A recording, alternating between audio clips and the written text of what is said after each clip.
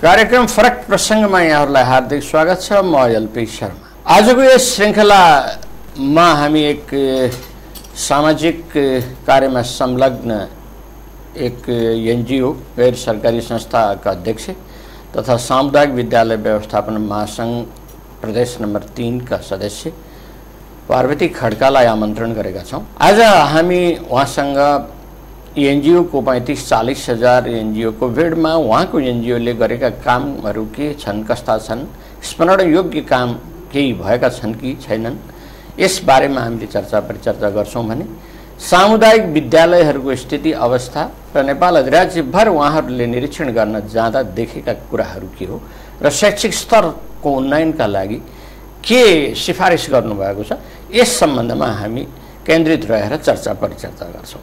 अब विलम्ब नगरी म उहाँलाई स्वागत गर्छु। स्वागत छ पार्वती म्याम। नमस्कार धन्यवाद। अब म्याम मलाई मैले पहिलो जिज्ञासा हाम्रो छलफल र वार्ताको प्रारम्भ यहीँबाट गर्छु कि पैँतिस चालिस हजार एनजिओको भिडमा तपाईँको पुनिज प्रगतिशील समाज नेपाल छ।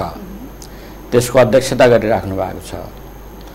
यो संस्थाले वास्तवमा मानिसहरूले सम्झन योग्य कामहरू के गरिराखेका छ अब यसमा चाहिँ मैले भन्नुपर्दा चाहिँ हाम्रो अब मैले स्टार्टदेखि नै कसरी स्टार्ट गरेँ कुन हिसाबले चाहिँ स्टार्ट गर्न मन होइन? यो विषयमा चाहिँ म अलिकति सुरुदेखि नै पहिला स्टुडेन्ट कालदेखि नै अब जस्तो अब अहिले हुन त भनिरहँदाखेरि सुन्नेहरूलाई अलिकति अन्यथा लाग्न सक्छ। हाम्रो गाउँघरतिर चाहिँ अलिकति एउटा कस्तो थियो भने त्यो के अरे अब रापापा साइडतिरको लिएर अलिकति हेप्ने तल्लो जातिहरूले हेप्नेदेखि लिएर म अलिकति तल्लो जातिलाई बढी फोकस गर्छु। किन भन्दाखेरि मैले त्यो देखिरहेको छु पहिलादेखि नै। तल्लो जातिहरूलाई अलिकति शोषण गर्ने विभिन्नहरू अब त्यो गरिबहरूले खाना नपाइरहेको अवस्थामा पनि अब अलिकति माथि लेभलको मान्छेहरूले चाहिँ उहाँहरूले चाहिँ भकारीमा अन्न कुहाइराख्दाखेरि पनि त्यो तल्लो जातको मान्छेहरूले अलिक गरिबहरूले खान पाउँदैन थियो क्या भकारीमा अन्न कुहिरहेको हुने उम्रिरहेको हुन्थ्यो। तर कोही चाहिँ महिनौ दिनसम्म पनि उनीहरूले चाहिँ अन्न खान नपाएर चाहिँ एउटा सिस्नो भित्ताबाट सिस्नो टिपेर लिएर आएर सिस्नोमा दाउन राख्ने पनि नभएर उनीहरू त्यसरी खाइरहेको अवस्था मेरो आँखाले देख्थेँ र मलाई पीडा हुन्थ्यो म सानै थिएँ। त्यस बेलादेखि नै मैले चाहिँ अलिकति यो पक्षहरू चाहिँ मैले केही गर्नुपर्छ भन्ने मलाई पहिलादेखि नै लाग्ने। तर लाग्दै गर्दाखेरि पनि मैले चाहिँ के भने त्यो अवसर मैले पाइनँ। किनभने सानो थियो पढाइ थियो त्यसपछि आएर गर्दै जाँदाखेरि अब आफ्नो वैवाहिक जीवनतिर लाग्यो त्यता घर विवाह परिवार यता त्यता विभिन्न हेर्दा हेर्दै मैले यो लाइनतिर यो साइडतिर त्यति हेर्न भ्याइनँ पनि अब समयले दिएन मलाई। त्यसपछि गएर चाहिँ म अलिकति अब अहिले चाहिँ अलिक फराकिलो। घर व्यवहारमा छोराछोरी सबै आफ्नो आफ्नो ठाउँमा पुगिसकेपछि अब मैले चाहिँ यो क्षेत्रलाई मैले हेर्नुपर्छ भन्नेतिर लागेर चाहिँ हामी साथीभाइहरू अँ, सँग मैले जहिले पनि यही कुरा गरिरहन्थेँ। अनि दुई चारजना साथीहरू निस्किनु भयो उहाँहरूले चाहिँ लु यसरी गरौँ न त हामी यसरी जाउँ। अनि मैले कसरी जाने त? यो क्षेत्रलाई हामीले केही न केही त बाटो त हामीले ल्याउनुपर्छ केही संस्था चाहिन्छ। संस्थामा हामी सातजना लेडिज छौँ। सातजनामा महिलै महिला छौँ हामी।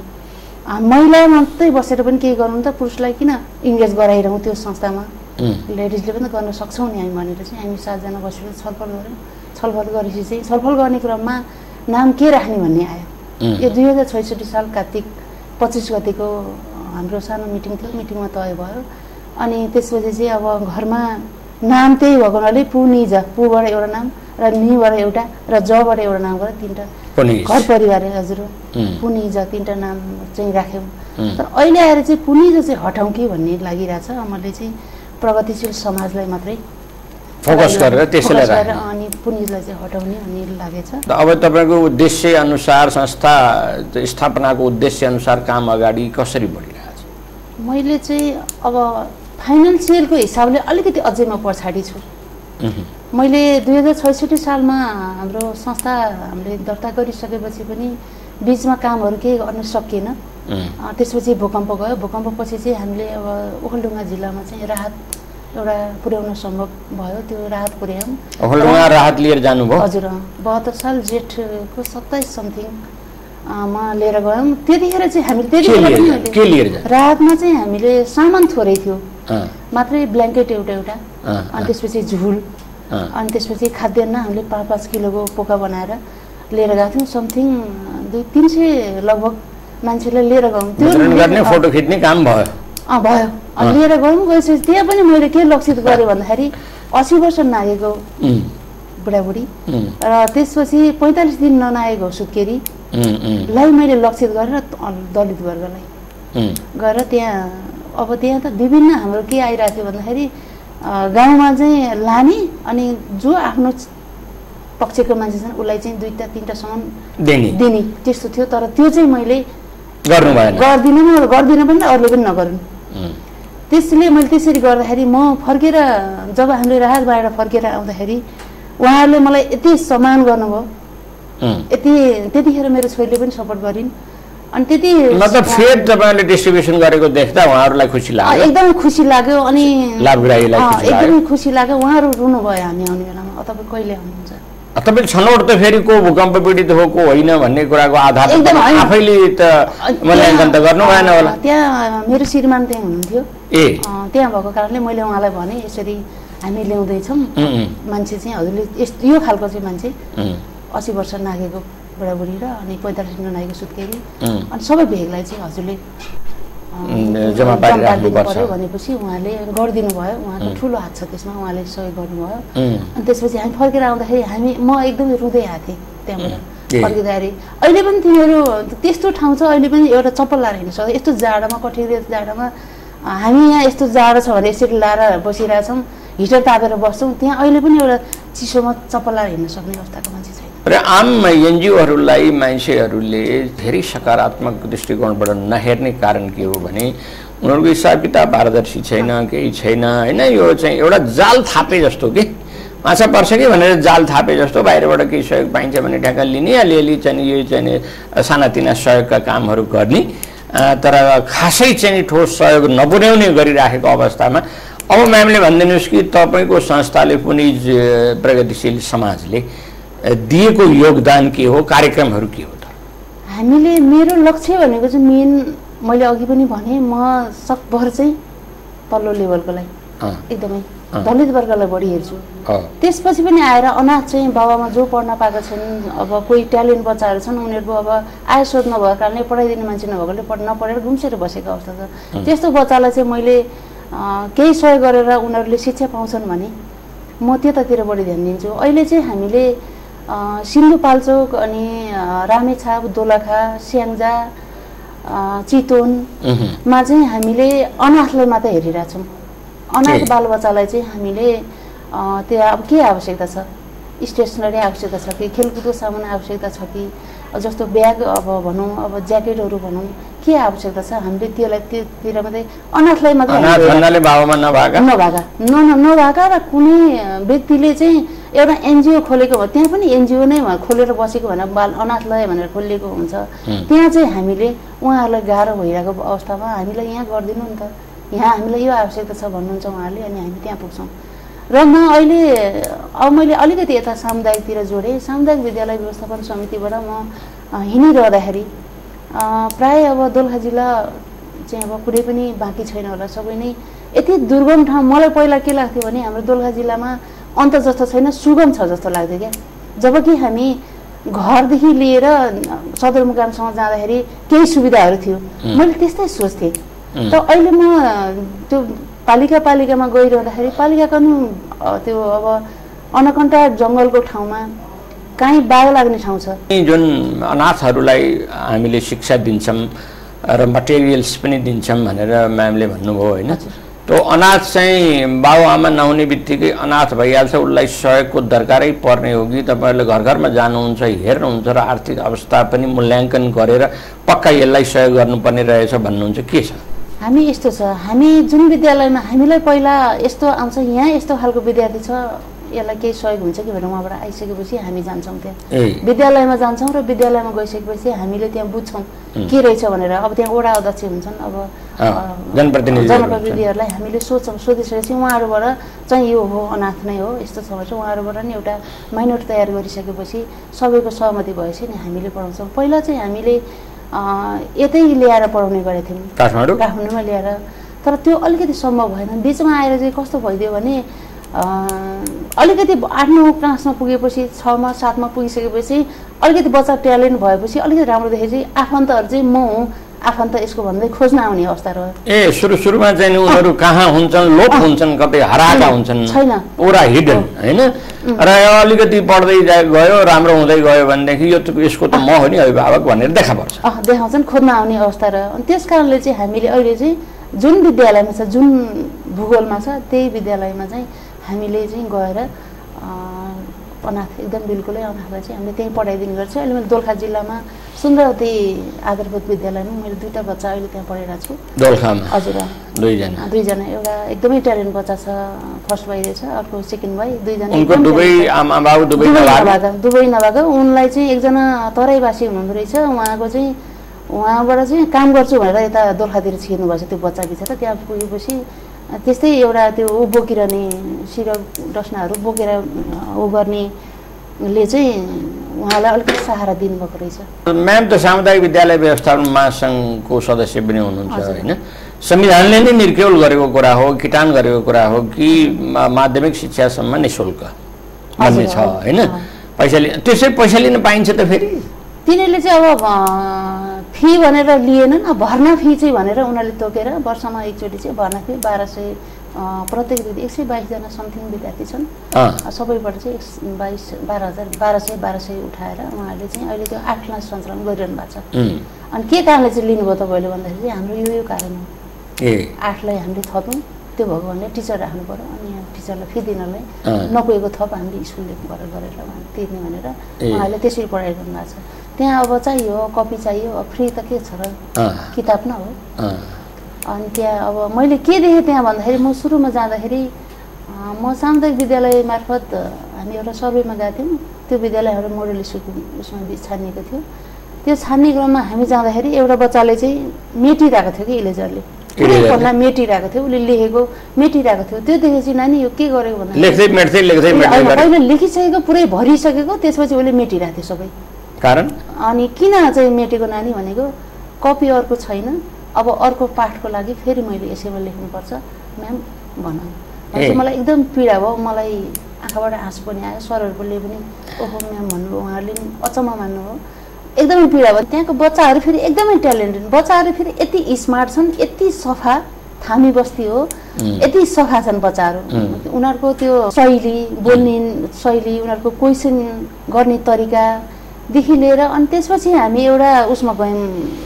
चाहिँ हाम्रो चित्रकला प्रतियोगिता राखेको थियौँ हामीले दुइटा मोडल स्कुलमा त्यो स्कुल पनि पढेको थियो। त्यहाँ जाँदाखेरि उहाँले विद्यालयको चित्र यस्तो राम्रो बनायो त्यो दुइटा बच्चाहरूले। साह्रै राम्रो बनायो। अनि त्यो देखाएर मलाई एकदमै दङ्ग लाग्यो। सरहरूसँग के क्वेसन गरे उनीहरूले भने. हामीले यस्तो विद्यालय त बनायौँ। तर हामी यो विद्यालयमा रहँदै यस्तो खालको विद्यालयमा चाहिँ हामीले पढ्ने अवसर पाउँछौँ कि पाउँदैनौँ। यो हामी सधैँ बन्छौँ कि बन्दैन। भनेर उहाँले त्यस्तो क्वेसन गर्नुभयो। अनि क्वेसन गरेपछि मलाई एकदमै पीडा भयो। अनि मैले सरहरूलाई राखेर ल ठिक छ। तब त्यो अहिलेसम्म भूकम्प गएको विद्यालय अहिलेसम्म त्यो ढुङ्गा जसरी लडेको छ फलाम जसरी ढलेको छ पर्खाल जसरी ढलेको छ त्यो अहिले पनि त्यस्तै अवस्थामा छ।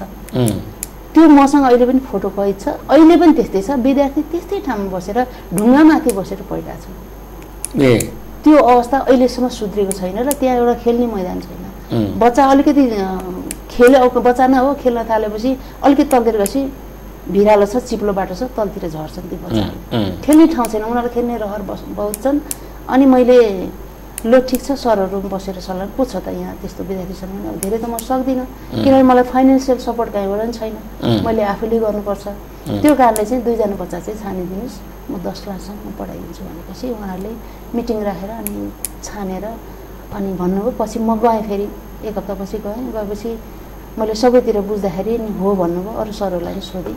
अनि त्यसपछि त्यो दुइटालाई चाहिँ मैले पढाउने भएर मैले अहिले एक वर्ष भयो मैले पढाइरहेको छु। तपाईँले सहयोग गर्ने भनेको संस्थाले के हो? त्यो बाह्र सय रुपियाँ दिने त्यसपछि किताब पुस्तकहरू दिने सामग्रीहरू दिने के हो। के हो? मैले उसलाई चाहिने। उसलाई पढ्नलाई चाहिने आवश्यक सामग्री र अब शैक्षिक भ्रमणहरूमा कतै लान्छन् विद्यालय भनेर म त्यो भ्रमणको पनि व्यवस्था व्यवस्था त्यसको लागि पनि पैसा। तिर्नुपर्छ होला। मैले पनि गर्छु त्यो पनि गर्छु। त्यो दुइटालाई फुल्ली सुविधा। यदि तिमीले राम्रो मार्क लिएर आयो भने त्यहाँभन्दा माथि पनि म पढाइदिन्छु भनेको छु उनीहरू दुइटालाई एकदम खुसी छन्। अब जान्छु। गइसकेपछि उहाँहरूले पर्फर्मेन्स राम्रो छ। पढाइ राम्रो छ। एकदम राम्रो छ। अनि उहाँ उनीहरूले फेरि अब हामीलाई यो पनि चाहियो। खेलकुदको सामान चाहियो भने अनि फेरि अस्ति खेलकुदको सामान पुर्याएँ त्यसपछि अनि लेडिजहरूले खेल्न थाले। ब्याडमिन्टन र टेबल टेनिस। अनि जेन्ट्सहरूले के भने म्याम हामीलाई चाहिँ खोइ त हामीलाई पनि फुटबल खेल्न मन लागेको थियो। अनि भलिबल खेल्न मन लागेको थियो भने। अनि कम्पाउन्ड छैन बाबु कम्पाउन्ड भयो म ल्याइदिन्थेँ भने नभएपछि हामी बाँसको भए पनि बारेर हामी खेल्छौँ हामीलाई चाहियो भनेपछि ल अर्कोचोटि आउँदाखेरि म माघको अन्तिमतिर आउँछु त्यतिखेर म ल्याइदिन्छु तिमीहरूलाई भनेर आएको छु मैले बाचा गरेर।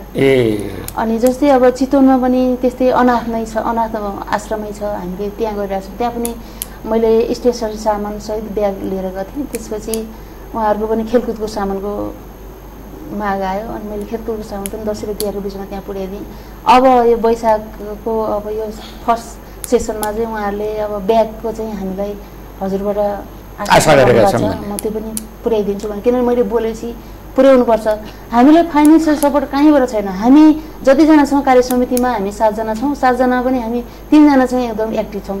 टोटलमा तपाईँले चाहिँ सबै जिल्ला नेपालका गरेर कति बालबालिका अनाथहरूलाई सपोर्ट गर्नुभयो लगभग लगभग अहिलेसम्म दोलखामा एक सय बाइस भयो यता तिस भयो यता लगभग लगभग दुई सय को हाराहारीमा मैले अझ दुई सय तिस उनीहरूको बराबर सम्पर्कमा हुनुहुन्छ के छ सबै रेगुलर मोनिटरिङ। सबै भइरहेको हुन्छ? एकदमै एकदमै भइरहेको हुन्छ उहाँहरूको। अनि मैले उहाँलाई उहाँ यस्तो गर्दाखेरि मलाई के खुसी लाग्यो भने उनीहरूले यति अस्ति रामेछापमा पुग्यो हामी ब्याग सहित लिएर पुग्यौँ त्यहाँ। ब्याग र स्टेसनरी अब किताबहरू कपीहरू लिएर गएको थियौँ। मन्थली नगरपालिका सङ्घ- को भित्र पर्ने बजारको साइडमा नजिकै। दस मिनटको बाटो। त्यस्तो ठाउँमा विद्यालय यस्तो ठाउँमा छ त्यस्तो ठाउँमा विद्यालय हुँदा पनि नजर कसैको पुगेको छैन। एकदमै अनि मलाई पीडा लाग्यो। म तल झरेँ झरिसकेपछि मैले हल्का अब त्यहाँ भन्नुपर्ने ठाउँमा भने पनि उहाँले बाचा पनि गर्नुभयो. मैले असारको अन्तिमसम्म म यो स्कुलमा म केही न केही गर्छु। हजुरको कुरालाई मैले राखेँ। अब म्याम ठिक छ। अब यो एनजिओले खास अब दुई तिन सय अनाथहरूलाई अधिराज्यव्यापी गरेर छ। अब अरू जिल्लाहरूमा पनि लैजाने तयारी गर्दै हुनु होला तराईतिर होइन अन्त अन्ततिर। अब म म्यामलाई यो सामुदायिक विद्यालय व्यवस्थापन महासङ्घको तिन नम्बर प्रदेशीय सदस्यका हैसियतले गाउँमा जानुभयो विद्यालय देख्नुभयो अहिले अलिकति कुरा त म्यामले गर्नुभयो होइन। विद्यालयको स्तर यस्तो छ खेल्ने ग्राउन्ड छैन ढुङ्गामाथि बसेर गरिराखेका छन् भन्नुहुन्छ।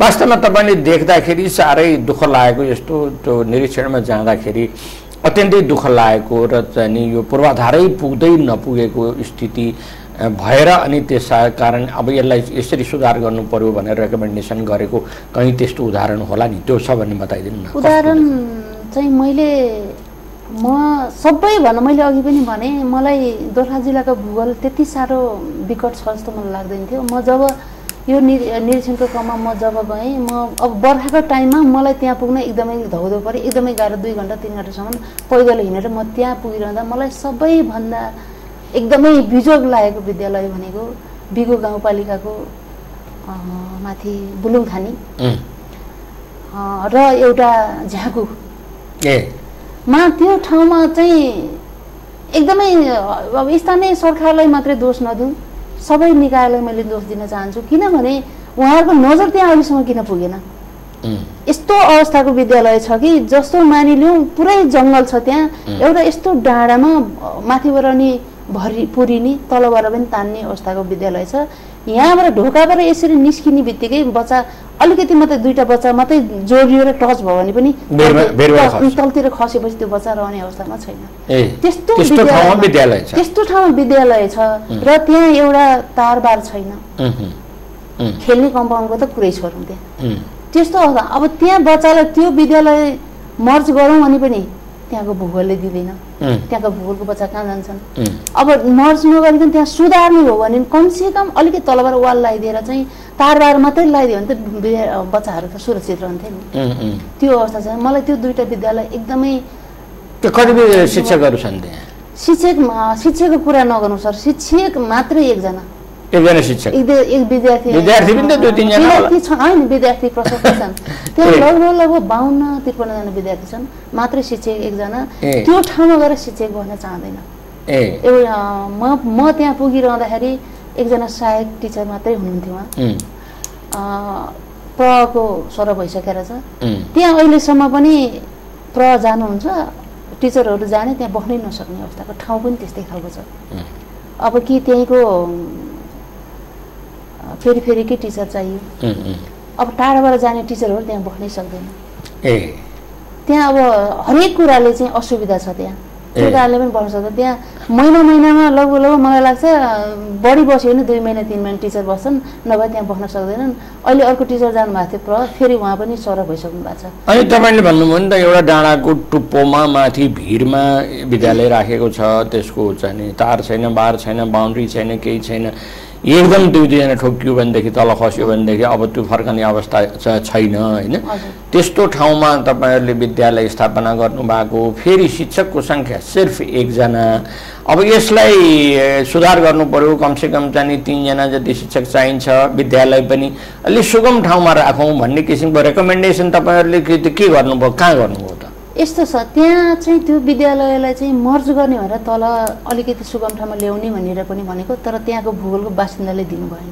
रहेछ। दिनु भएन छ। नसार्ने किनभने त्यहाँको भौगोलिक स्थिति नै त्यस्तो छ त्यो छुट्टै एउटा गाउँ छ त्यो गाउँको मान्छे अर्को विद्यालय जान निकै टाढा पर्छ।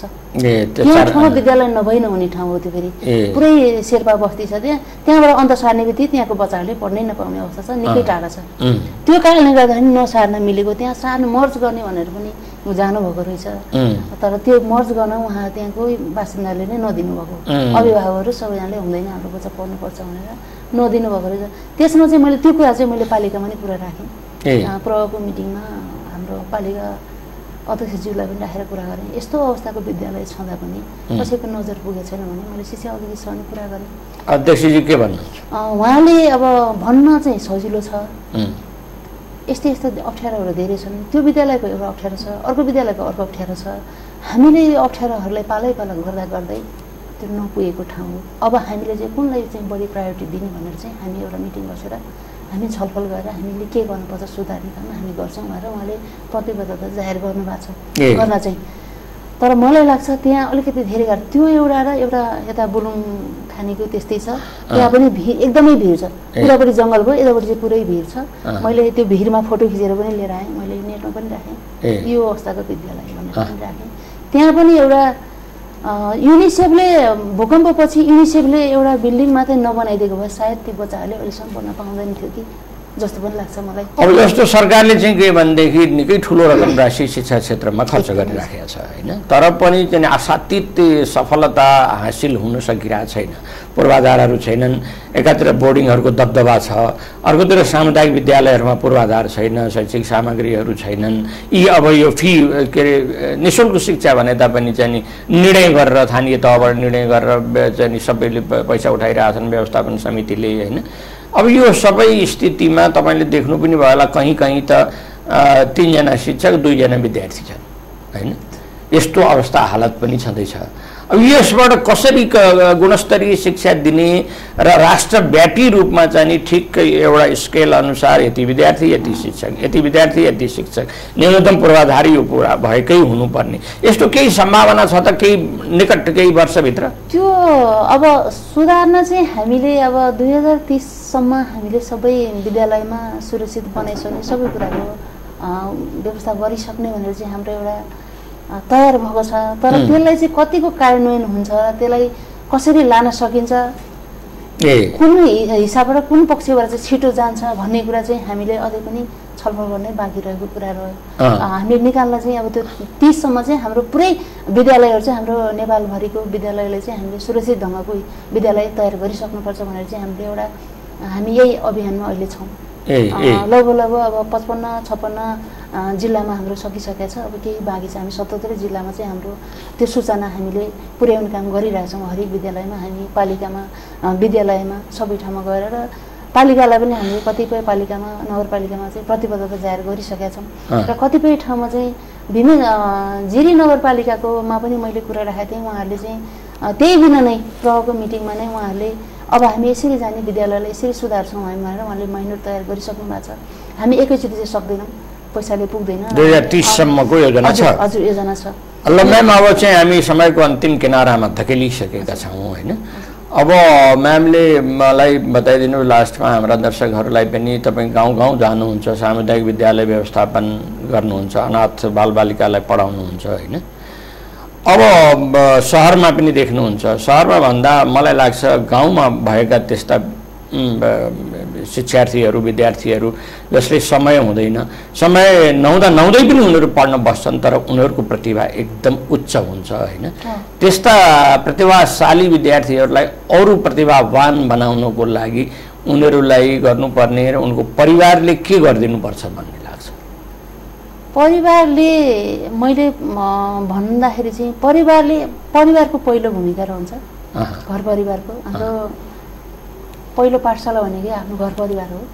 घर परिवारमा जे शिक्षा सिक्यो त्यसले नै हामी अगाडि जान सक्छौँ. मैले हरेक मिटिङमा हरेक ठाउँमा गएको बेला नि मैले परिवारलाई राखेर अभिभावकलाई राखेर नै कुरा गर्ने गरेको छु अनि अहिले चाहिँ पहिला त उनीहरूलाई बच्चाहरूलाई चाहिँ घर परिवारबाट नै पढ्ने वातावरण गर्नुपर्छ। त्यसपछि गएर स्कुलको कुरा आयो. स्कुलमा पनि वातावरण कस्तो हुँदछ नि उनीहरूलाई खेल्ने मैदान खेल्ने कुरा अब पढाइमा मात्रै टचर गरेर त भएन. उनीहरूलाई केही एकछिन अब जस्तो आधा घन्टा पढिसकेपछि पाँच मिनट दस मिनट त खेल्ने मौका भने उनीहरूको माइन्ड फ्रेस हुन्छ माइन्ड फ्रेस भएपछि छ। उहाँहरूलाई फेरि पढ्न मन लाग्छ अनि. अहिले के पनि छ भने खाजाको व्यवस्था गरिएको छ सरकारले खाजाको व्यवस्था गरिसकेपछि विद्यार्थी अझ बढी भएको छ विद्यालयमा त्यो खाजाकै लागि मात्रै आउने हो कि खाजाको पढ्नको लागि लागि? मात्रै पनि आउने रहेछ अँ। त्यो वातावरण चाहिँ पढ्न आउनु सिक्न रहेछ। भन्दा पनि खाजा पाइन्छ ल जाम पाइन्छ भनेर अनि उनीहरूले खेल खेलकुदको सामग्री छ हरेक संस्था संस्थाबाट पनि दिएको छन् तर उनीहरूले खेल्न पाएको छैन किनभने खेल मैदानै छैन त्यहाँ त्यहाँ खेल्ने ठाउँै छैन खेल्यो भने सामान तलतिर गुरेर जान्छ ल्याउन सकिँदैन। त्यस्तो अवस्थाको विद्यालयमा चाहिँ अलिकति कम्पाउन्ड भइदियो र अलिकति बच्चाहरूको लागि चाहिँ अलिक रोमान्टिक खालको खेल मैदान भइदियो खेल्ने सामान भइदियो भने उनीहरूलाई पनि माइन्ड फ्रेसनर लागि पनि एकछिनलाई त खेल्न दिनु पर्यो टाइम। त्यो त्यो अवस्था चाहिँ रहेन छ क्या। त्यहाँ घरमा गयो काम गर्नुपर्ने स्कुलमा आयो लु यो पढ भनेर पिलाइदिने अहँ। एक पक्ष कुनै ठाउँमा कुनै विद्यालयमा चाहिँ कस्तो पनि छ भने टिच विद्यार्थीलाई पढाउन राख्यो। यहाँदेखि यहाँ पढ है बाबु हो भनौँ। चिनो लगाएर गयो सरहरू बाहिर गएर चिज खेल्ने अवस्था छ। हस् हस् अब म्याम धेरै व्यस्त हुनुहुन्छ आफ्नो चाहिँ प्रगतिशील समाज नेपालमा हुनुहुन्छ। सामुदायिक विद्यालय व्यवस्थापन महासङ्घबाट विद्यालयहरूको निरीक्षण गर्नुहुन्छ। यस्तो व्यस्त समयका बावजुद पनि हाम- हाम्रो स्टुडियोसम्म आइदिनु भयो आफ्ना केही अनुभवहरू राखिदिनु भयो। त्यसका लागि म म्यामलाई हार्दिक कृतज्ञता र धन्यवाद ज्ञापन गर्दछु। मलाई नि यहाँसम्म आएर केही कुराहरू राख्ने मौका दिनुभयो हजुरलाई धेरै धेरै धन्यवाद हस् त दर्शकवृन्द आज हामी एक सामाजिक अभियन्ता नै भनौँ एक सामाजिक विद्यालयहरूको व्यवस्थापन कसरी हुनसक्छ यसमा खटिनुभएका र एक एनजिओ मार्फत चाहिँ अनाथहरूलाई र विशेष प्रतिभाशाली विद्यार्थीहरूलाई कसरी सहयोग गर्न सकिन्छ भन्ने कार्यमा लाग्नुभएका पार्वती खड्कासँग हामी कुरा गऱ्यौँ। लाग्छ म शुभकामना दिन चाहन्छु कि उहाँको अथक प्रयास र मेहनतले यो स्वेडिस ग्रेटा थनबर्ग जस्तै नेपालबाट पनि एउटा ग्रेटा थनबर्गको उत्पत्ति हुन सकोस् सृजना हुन सकोस् र अगाडि केही विशेष सहयोग उहाँको संस्थाबाट प्रदान होस् भन्ने शुभकामना व्यक्त गर्न चाहन्छु। भोलि फेरि अर्को प्रसङ्गमा अर्को व्यक्तिका साथ आउने भाषा गर्दै आजको यस कार्यक्रमलाई यहीँ बिट मार्न चाहे। हस्त नमस्कार।